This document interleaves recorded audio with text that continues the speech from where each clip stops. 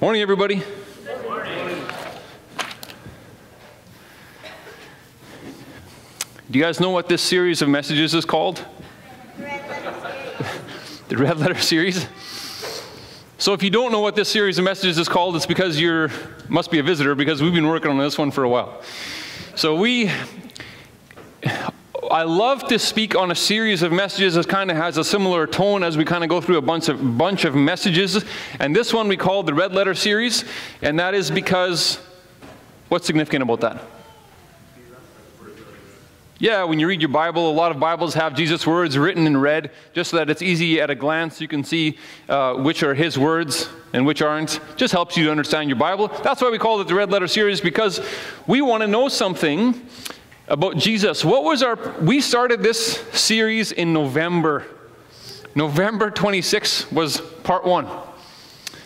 We've been working on this one for a while. What did we say was the primary question for this whole series?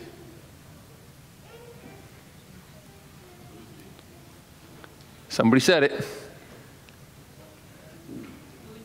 Who is Jesus? And we've been discovering it. If somebody asks you that question on the street, who's Jesus? Well, he's God, Messiah. Is it true?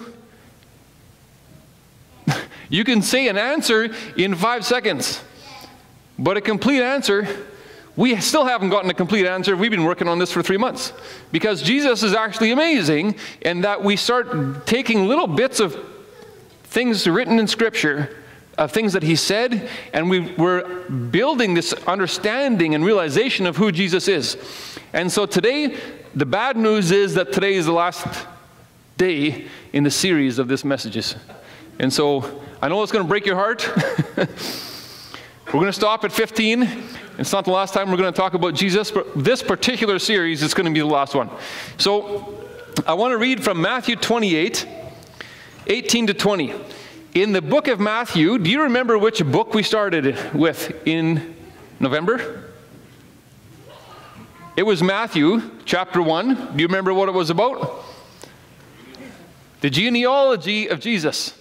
We looked at who his ancestors were. So we're going to that same book again. We're going to go to the last words that he wrote in that, or that he's quoted on in that same book. Matthew 28, 18 to 20. Grab your Bibles and open them up.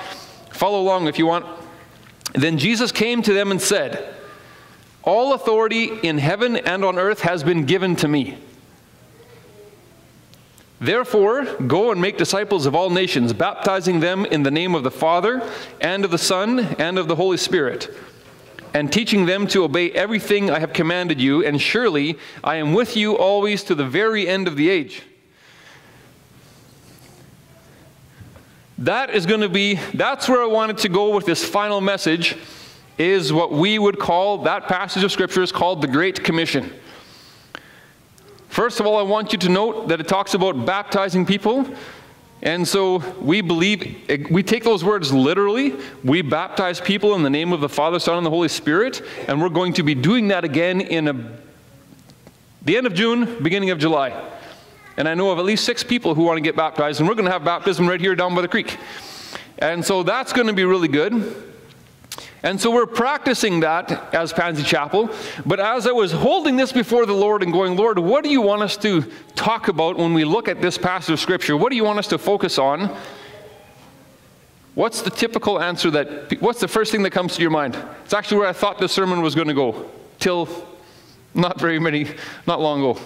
What's the typical thing that people would think about when they hear that passage of Scripture? Say it again. Evangelism. Yes, it's going to, go into the whole world, make disciples of all nations. And I thought maybe we'd talk about discipleship. What does that mean? Being a student of Jesus and so on. We've talked about that before. Important words of Jesus. And, but I realized, and we could, that would be a fantastic sermon, but I realized this. As I was reading and rereading and meditating on that passage, I was stuck on verse 18. And we're going to build an entire sermon on verse 18, which I have never done before, and we're going to have a hard time squishing it into one Sunday morning, okay? This is what it says, and if the slideshow works eventually, that's great. Is there, um, and if not, you guys are going to have to follow along in your Bibles. We're reading out of Matthew 28. This is verse 18. This is the whole, you need to know which verse that is because it's the entire sermon is in that verse. Then Jesus came to them and said, What did he say? You guys don't have your Bibles open. what did he say? All authority in heaven and on earth has been given to me. This is what Jesus said, and we're going to flush out two really key important points out of that because when we ask this question of who is Jesus, it's a very important question to ask because when we understand who Jesus is, it tells us who we are because we are actually adopted into his family. We are children of the Father as well, right? And so it helps us to understand who we are. First of all, I want to talk about in that verse 18 how much authority has been given to Jesus? All of it. And so I want to talk a little bit about the authority of Jesus. And if we want to look at Scripture for the authority of Jesus, write down with your pen there Matthew 7 to 10. Those chapters, I call those like authority of Jesus chapters. And we're just going to go through, I'll, I'll tell you nine quick stories that represent the authority of Jesus as he was walking on the earth. Okay? The first one is in teaching.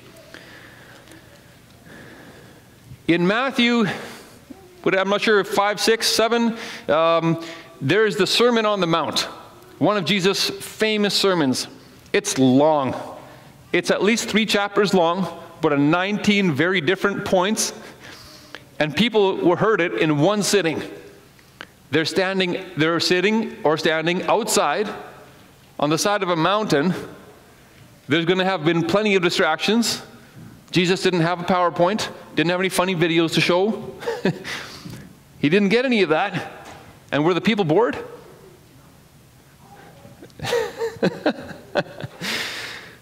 it says the crowds were amazed at his teaching because he didn't speak like one of their teachers of the law. He spoke with one who had authority. And they were spellbound. Can you imagine that? 19 points on a sermon and you're standing sitting on the side of a mountain next to a lake. Could you be distracted? Like we didn't put windows in the sanctuary. One of the reasons is for exactly that. It's really distracting. You start looking around, oh well, look at the leaves. it's distracting.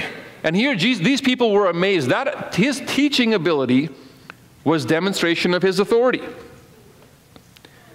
Second thing is, if you look, this is that was in Matthew 7, the end of the chapter. If you look at Matthew 8, 1 to 3, Jesus is on his way down that same mountain. And he meets a man with leprosy. What is significant to know about lepers? It's contagious. So typically, they were put banished outside of a city. You live in a cave or something with other lepers, but you don't come in contact with a clean person with a healthy person. The leper comes to Jesus and says, Lord, if you are willing, you can make me clean. And Jesus says, I am willing. And then he reached out with his hand and touched him. And he became clean. That's exceptional. I love it. It's not like Jesus was kind of uh, back off a bit. he wasn't scared. He has full authority, and he comes right into the face of that disease, and he says, I am willing. Be clean and the man was healed instantly. There's another time, right next, uh, the next story in that same chapter. We're just going to go chronologically right through that chapter. Jesus heals a paralytic remotely. A Roman centurion who is a Roman soldier. Centurion means that he wasn't bottom of the barrel. He actually had authority and could tell the people underneath him what to do and where to go. Comes to Jesus and says, This is what he says my servant is at home, he's paralyzed, and he's suffering. And Jesus says, I'll come and heal him. And the centurion replies, this is Matthew 8, 8 to 13. The centurion replied, Lord, I do not deserve to have you come under my roof. But just say the word, and my servant will be healed, for I myself am a man under authority, with soldiers under me. I tell this one, go, and he goes. I tell that one, come, and he comes. I say to my servant, do this, and he does it. When Jesus heard this, he was amazed and said to those following him, Truly I tell you, I have not found anyone in all of Israel with that kind of faith. That centurion demonstrated his faith in Jesus by understanding Jesus' authority. Then Jesus said to the centurion, Go, it will be done just as you believed it would. And his servant was healed at that moment. So, Jesus, the authority of Jesus is so powerful, he can touch leprosy. He's not scared of it. He can do a remote healing. He doesn't even need to be there. He can just speak it and it happens. It's already done. He didn't need to be there. Isn't that amazing?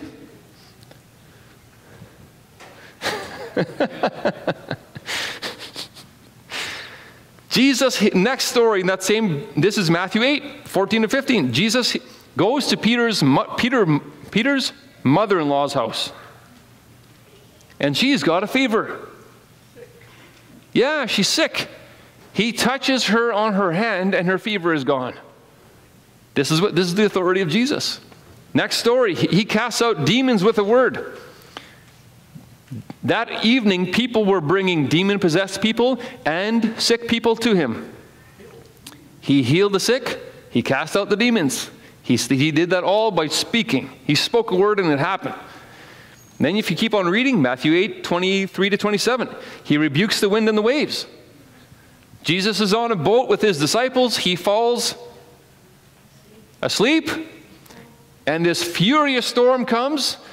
And the disciples are panicking and say, Lord, what do they say? Lord, save us, we're going to drown. Exactly right.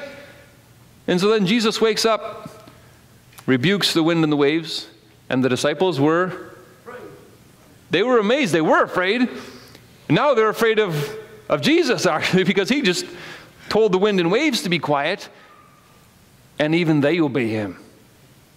That's the authority of Jesus. I want to make a point here. Have you guys ever been in a storm? The other day, like uh, I think it was on Tuesday or something, it was windy. For about 20 minutes, really windy. Were you guys anybody outside doing that?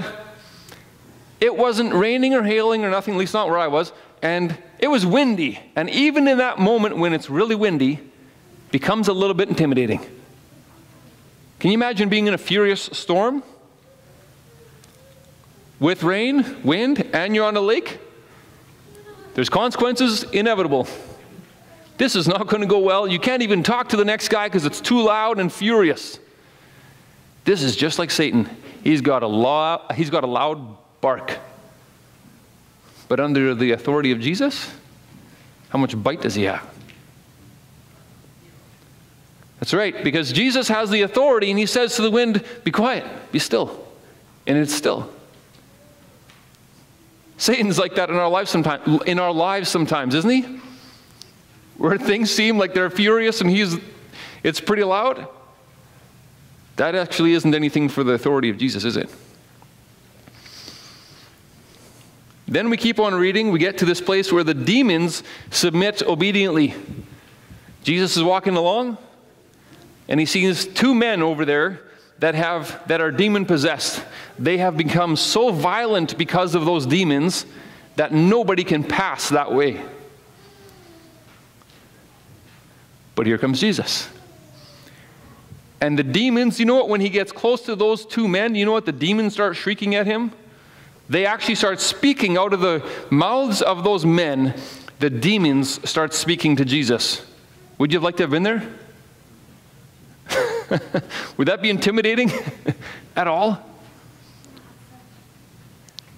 It'd be awesome. It'd be a little terrifying. And you know what it says? The demons were terrified. And you know what they shrieked to him? They were scared. The demons were terrified and said, Have you come to judge us before the appointed time? Something like this. I just paraphrase. What does it say? They were terrified of the torture before the right time. Isn't that a curious thought? These demons were terrified of what they knew was coming. But then Jesus said something to them and they obeyed. Jesus said, Go, and they went instantly. That's the authority of Jesus. Those demons don't follow Jesus, but when he speaks, he has the authority. When he speaks, they obey. He says, Go, and they went. Amen? there's another, two more things I want to point out, but I want to pray first. I'm not sure if it's me or if it's May long weekend, but there's, let's just pray. Lord, I invite your Holy Spirit to come and stir within us. Jesus, help us not to just be words that we're saying and words that we're tolerating for 20 more minutes so that we can go home. Lord, let this be a time where we actually become awed about who you are.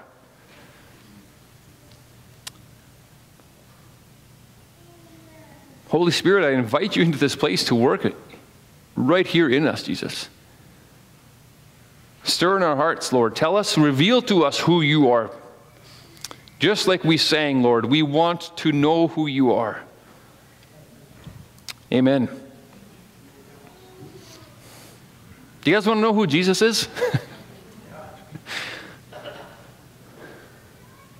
so, in the same passage, Jesus says, does something really interesting. Some men bring him a paralytic on a mat. And Jesus says, better read it so I don't misquote it. Jesus says, Take heart, son, your sins are forgiven. To which the Pharisees said, What? That's blasphemy. Why is that blasphemy? Only God forgives sins. Knowing their thoughts, this is Matthew 9, 4 to 8. Knowing their thoughts, Jesus said, Why do you entertain evil thoughts in your hearts? Which is easier to say, Your sins are forgiven, or to say, Get up and walk? But I want you to know that the Son of Man has the authority on earth to forgive sins. So he said to the paralyzed man, Get up, take your mat, and go home. Then the man got up and went home. When the crowd saw this, they were filled with awe, and they praised God who had given such authority to man. That's the authority of Jesus. He heals, but not only does he heal, he can forgive sins. He's God. You guys with me? Then in Matthew 10, he does something absolutely amazing with all of his authority. Matthew 10, verse 1. Somebody with your Bible open, tell me what does Jesus do in Matthew 10 verse 1 with his authority? That's quite fascinating. Say it louder. Matthew 10 1. Yep. Yeah. He has been driving out evil spirits, he's been healing people, and now he gives authority to his disciples. He takes his authority of, of God and gives it away. Doesn't give them the authority to forgive sins, but he gives them the authority to do some pretty cool things. You know what they are? If you look down to verse 8, four specific ones there heal the sick, raise the dead, cleanse those who have leprosy, and drive out demons. Freely you have received, freely give. Would you have liked to have been in that group of disciples?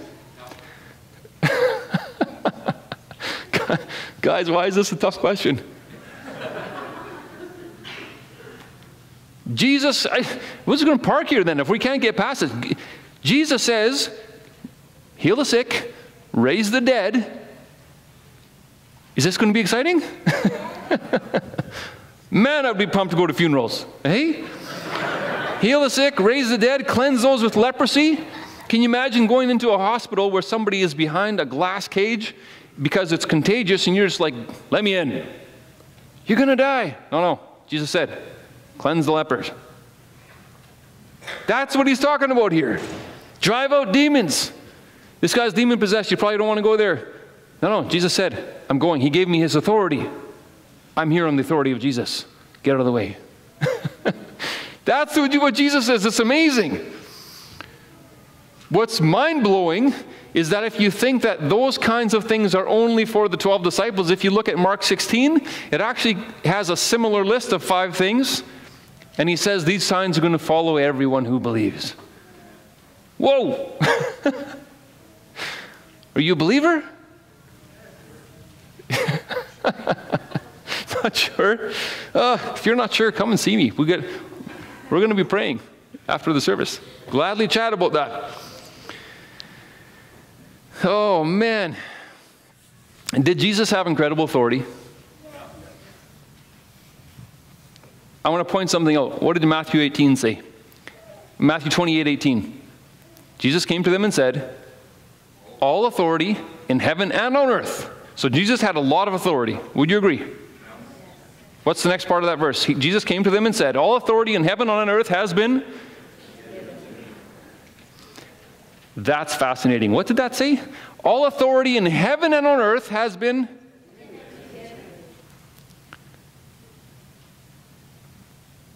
Why is that fascinating?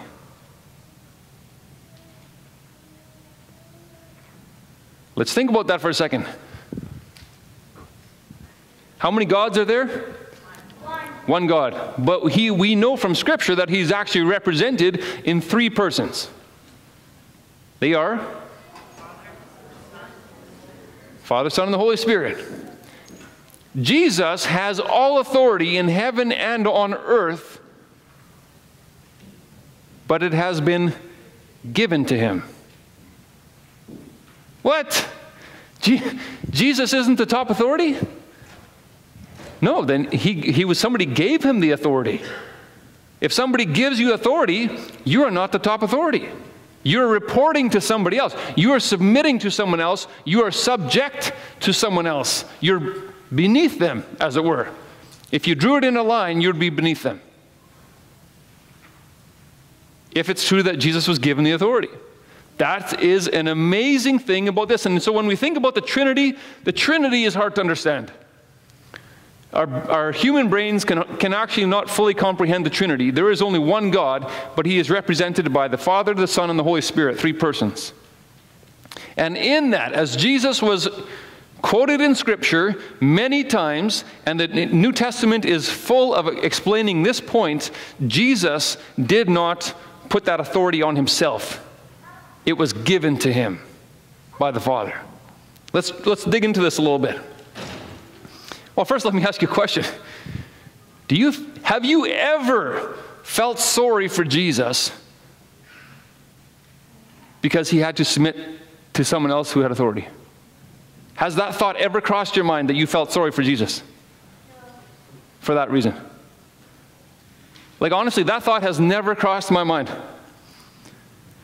I've hardly even thought about the fact that the Father gave it to him, but nowhere in my Christian life have I ever felt sorry for Jesus because he was only given the authority. And he constantly had to submit to the Father. I never felt sorry for him. Why not? I'm not sure. But are you like me in that when I have to submit to an authority, ooh, man, that is like a burr under my saddle. That's the only reference I'll ever make to horses, okay? but that doesn't sit well with me. Can you guys relate to that? This might just be a sermon for me, but when I have to submit to authority,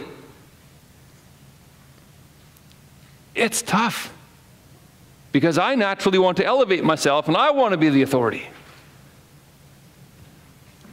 Jesus, in his relationship to the Father, gives us the perfect example of what it, that looks like in a relationship. Full submission and full surrender to someone else who has authority over you. And yet, it's so good to be in that place under that person's authority that someone looking from the outside never would feel sorry for you. You can have submission in a relationship, and from the outside, you'd never think it's a bad thing. We have turned that into being a bad thing today. We have somehow heard that word submit, and instantly, man, you mentioned that in a marriage sermon, half the people there are offended. Maybe they're all offended. Jesus submitted to, to the Father all the time. We're going to dig into this a little bit. This is common knowledge in the, in the New Testament. But I want to point out this bit by bit. Jesus, who was equal with God, Philippians 2 6 to 8, John 1 1 would say the same thing, submitted himself under the Father's authority, and he became, there's a word that starts with O. What is it? He became obedient to the point of what? Death, even death on a cross. Jesus, who was perfect, died on a criminal's, a criminal's death. The only man ever to walk the earth who was innocent died as a criminal, humiliated. Shame and humiliation were his because he was in submission to the Father, although he was the only person who ever deserved praise and honor. Why have you never felt sorry for him? He was, he was living in submission to the point of humiliation. The authority that Jesus had was given to him. This wasn't easy for Jesus, but he never stepped out from underneath that umbrella of authority. He never stepped out of the, underneath that. That was the Father's responsibility, and Jesus never left that and said, "Forget it. I'm going on my own. I'm going to elevate myself and give myself the name above every name." That doesn't come out of Scripture. You don't read that in Scripture. God gives him that name. It's amazing. John the Baptist knew this in John 3:35. The Father loves the Son and has placed everything in his hands. Those are words from John the Baptist. John the Baptist knew that the Father was giving everything to Jesus, but he understood that order. That is actually amazing. Paul knew about it. This is almost a complicated verse to read, but 1 Corinthians 15 27 to 28, Paul actually makes this super, super clear.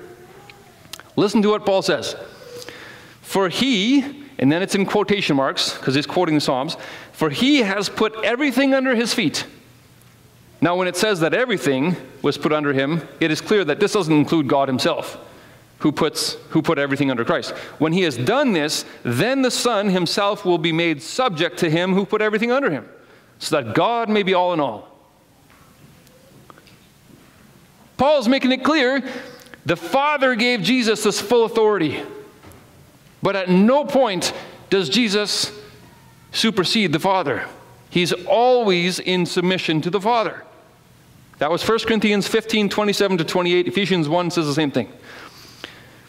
Jesus himself is quoted many times throughout the Gospels that he is constantly in submission to the Father. In John 5, he says this this is how it reads. For this reason, this is John 5 18 to 19.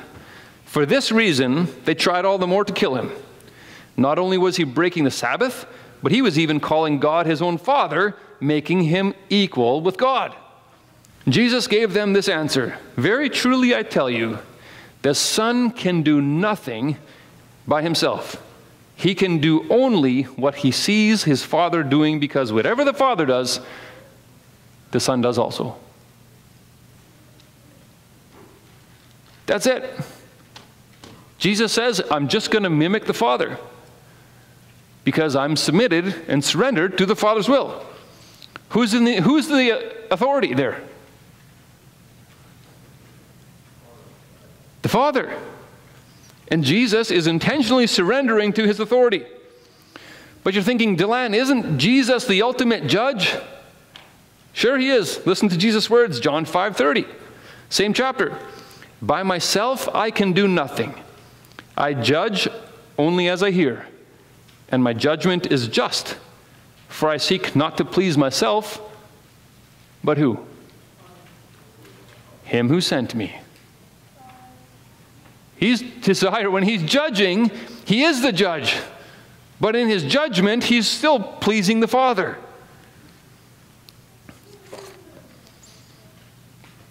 The one who sent him it's like the Father, man, if I was to paraphrase, I hope before the Lord that I'm not way out of my theology here, but it's like the, it's like the Father told Jesus, Jesus, you're going. And Jesus became obedient and went. Jesus says this in John 6 38. He says, For I have come down from heaven not to do my will, but to do the will of the one who sent me. The Father sent Jesus to go down, to become a human, to become obedient to death, even death on a cross. John 8 42, Jesus said, these are Jesus' own words, I have not come on my own, but God sent me. Those are amazing words. He came out of obedience to the Father. I want you to think about those words. Kids, I'm going to park over here. There's kids everywhere, but I'm going to park here for a second. Do you ever feel bad for yourself because you're supposed to obey your parents? You feel like, oh, woe is me. I'm going to obey my mom and dad. See some shaking heads. That's a good church answer because I know what you guys do during the week. the next question would be then, why do you disobey? But we actually feel a little bit, sometimes we feel it's a burden to obey mom and dad. But we've never felt sorry for Jesus, and he just said, he obeys.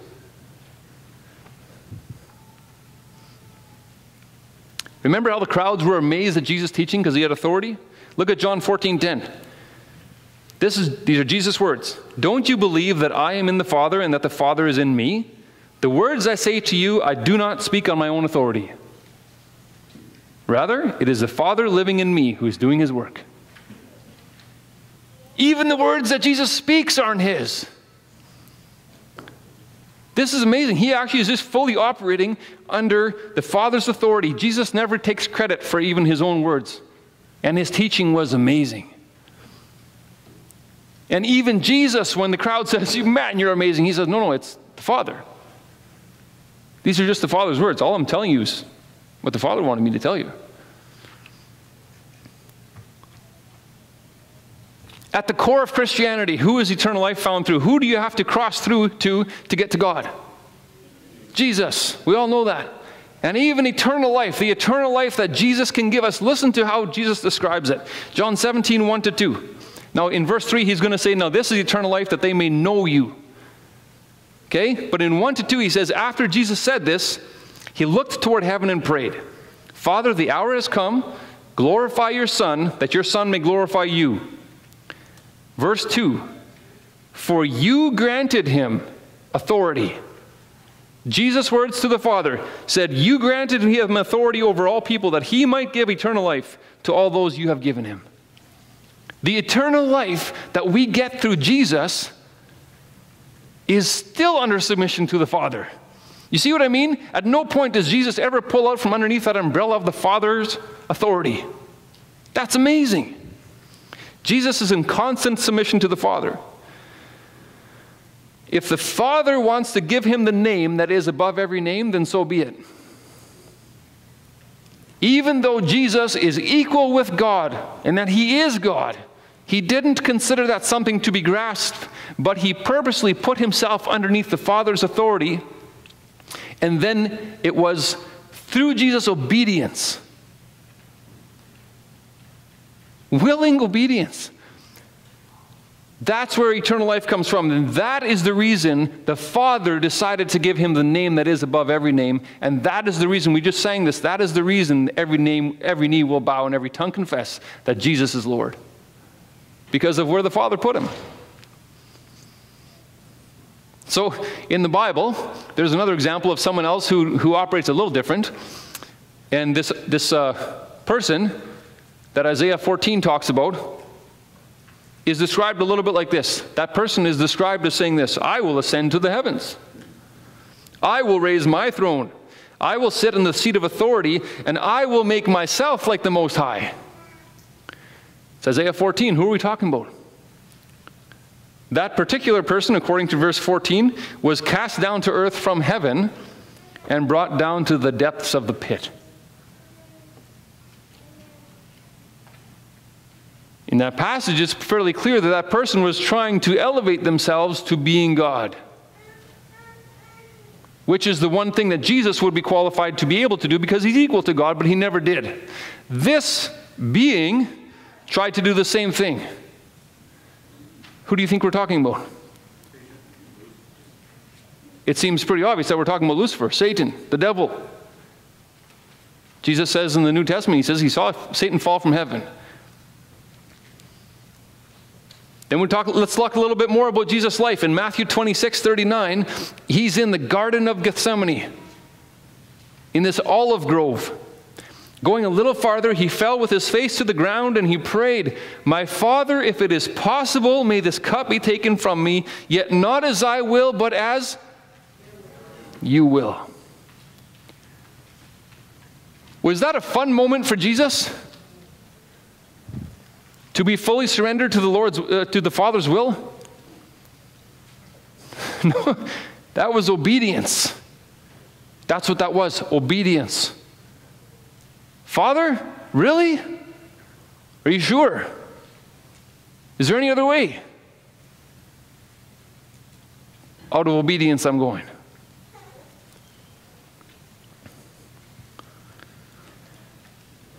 What about Pilate? Did he have any authority? This is exceptional. You think it's exceptional that Jesus is, is constantly under the authority of the Father. But so much so that he even has to, because he submitted to the Father, he to, even has to bend to the authority of, of Pilate, a man who is carnal, who does not understand who Jesus is, doesn't understand that he is perfect and that he is God. In John 19, Pilate says to Jesus, Do you refuse to speak to me? Pilate said, Don't you realize that I have the power to either free you or to crucify you? And Jesus answered, You would have no power over me if it were not, were not given to you from where? From the Father. I submit to the Father. That's why I'm here. That's what he's saying to Pilate. You actually have no authority. I have all authority under, on heaven and, in heaven and on earth. And the only reason that you're going to condemn me and allow, I'm going to allow you to crucify me is because the Father said this is the plan. Are you guys catching the example that Jesus is actually incredible example of submission and authority? and that he was given the authority. He didn't muster it up on his own, it was all from the Father. This clear submission of Jesus to the Father is a demonstration of perfect submission. We can actually, if you want to know what that looks like in your life, I could point out four areas in your life where this might become really practical. One is the government. Scripture is really clear what Christ, how Christ's followers should behave towards the government. They have been given authority. There is no authority except that which God has given. There's authority of the government. There's authority in families. Oh, man. Parents and kids, there's an authority structure that's God given. Kids are supposed to be under the authority of their parents. That's a biblical concept of authority. Husbands and wives. It is a biblical concept for a wife to be submitted to her husband. Jesus, we never feel sorry for Jesus submitted to the Father. Why is that?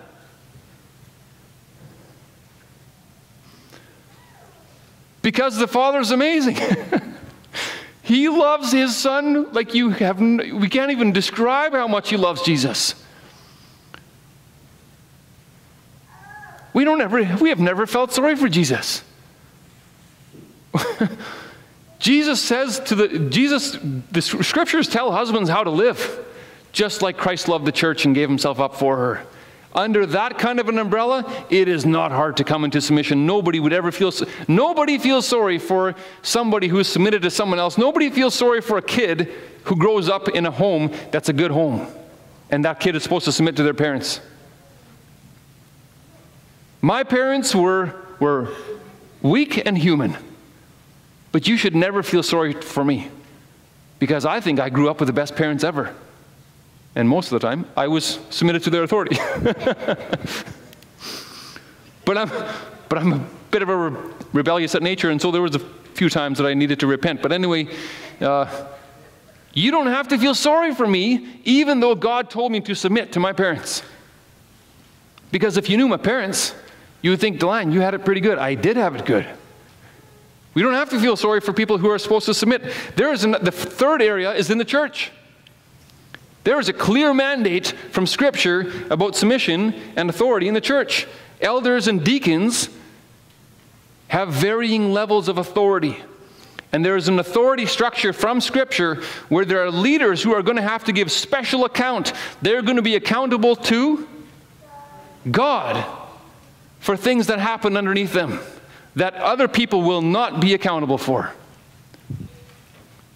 And there's people underneath them that are accountable to them and to them and to them. This is a biblical concept of church. It's not without intention that we follow that kind of a model in Pansy Chapel. We've drawn it out on a piece of paper. If you came to the membership explanation meeting, this is we explain what we're, what we're doing and why. And it's not a power trip. It's a God given example. There's another one community. I could point to you scriptures in, in 1 Timothy 6 and 1 uh, Peter 2. We could study this all morning. And I could point out there's two specific places in the community where you should be under, you're under other people's authority and you should submit to them. Coaches and teachers. Those are two that I'll pick on. If you're playing sports and you have a coach, that's your authority. There should be a submission. Just this last week, I heard a kid kind of lip off to his coach, and I thought, man, that kid has not been trained according to Bible standards. Or teachers in school. There's an authority and structure straight out of Scripture that Jesus is a really good example of. And then, if we come right back around in Matthew 8, we looked at that story when the centurion, the Roman soldier, comes up to Jesus. We went over it before. Why did Jesus say that that man, he had such faith that Jesus had not seen that kind of faith in all of Israel? Why? Because he understood Jesus' authority. I'll read it for you. The centurion replied, and first of all, I should ask this Do you feel sorry for when you see a, a soldier, a centurion, who comes, he comes in with the, his battalion or whatever you call his group of soldiers that follow him, and he tells them, Go do, take five guys, go over here. You take four guys, go over here and do this and this, report back to me. And they go out and obey. Do you feel sorry for the guy in charge? No, I don't. We kind of look at his position and go, Wow, that's kind of prestigious. We kind of want to be that guy. But listen to how Exactly that guy talks. He says, The centurion replied, Matthew 8, verse 8 and 9. The centurion replied, Lord, I do not deserve to have you come under my roof, but just say the word, and my servant will be healed. For I myself am a man under authority. The centurion was acknowledging to Jesus that, listen, I'm a centurion. I have a bunch of soldiers under me, but that doesn't mean I'm the top authority. I also have to report to a higher authority. And so these things that I'm telling my soldiers to do aren't just whatever I make up. I'm taking orders from above and then saying, go and do. For I myself am a man under authority, with soldiers under me. I tell this one, go, he goes. I tell that one, come, he comes. I say to my servant, do, and he does it. And to that answer, Jesus said, Wow, that kind of faith I haven't seen in all of Israel. So, when we were thinking about this whole series of messages that we started back in November with what was the primary question? Who is Jesus? Jesus has been given, Matthew 28 18. Jesus came to them and said, How much authority? All authority in heaven and on earth. He has complete authority. Has been given to me. He has complete authority, but even in that complete authority, he still surrendered to the Father. That's who Jesus is. When we understand, this is important to understand because when we understand who Jesus is, how much authority he has, that he is still surrendered to the Father, and we understand that example, what are the next two words in the Great Commission? Therefore, go. Amen? do, you, do you see it? This is who Jesus is. Full authority, submitted to the Father. When you understand that, good, then go. And then start making disciples. That's the key to understand that. Let me just close in prayer. Jesus, oh Lord, I love you. Some of the things that I read in Scripture boggle my mind. On one hand, you are almost hard to comprehend who you are. And then I read Scripture and I see things that maybe I didn't even pick out before. Jesus, as I contemplate the authority that you have and the example that you left us when you submitted to the Father your entire life to obedience on the cross. Help me to walk out that kind of submission to authority, especially to you, Jesus. It is to you that we surrender. Amen.